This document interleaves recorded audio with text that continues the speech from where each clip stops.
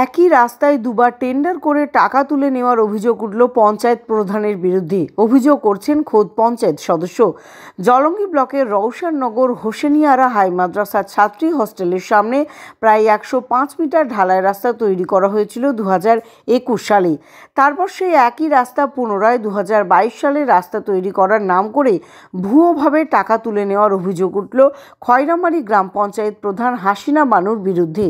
পঞ্চায়েত সদস্যের অভিযোগ একবার ব্লক থেকে রাস্তা তৈরি করেছে। তারপর ফের সেই একই রাস্তা দেখিয়ে পঞ্চায়েত প্রধান টাকা তুলে নিয়েছে। মেম্বার কাজটা দিয়েছিল। আমরা ওখানে কাজ করতে যেয়ে দেখছি কাজটা হয়ে গেছে।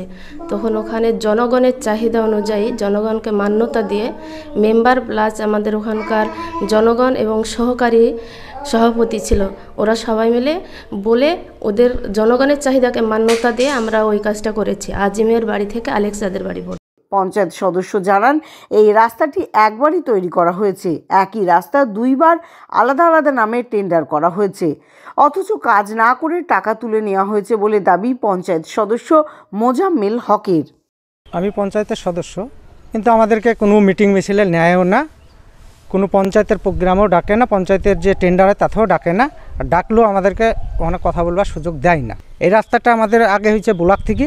ব্লক থেকে হওয়ার পর পরবর্তী টাইমে দেখছি যে পঞ্চায়েত থেকে টেন্ডার দেওয়ার বিল উঠে গেছে। এখানে একটা হৈমদ্রির বাড়ির সামনে ওখানে একশো মিটার ঢালাই, সেখানে পঞ্চাশ মিটার করেছে, একশো মিটারের বিল তুলে নিয়েছে। এক রাস্তা তো দুবার হয় না। যে আমাদের মেম্বার রাস্তাটা করেছে, তারপরে কীভাবে টাকাটা পঞ্চায়েত প্রধান কেউ তুলে? আমাদের এটা হচ্ছে আমাদের অভিযোগ।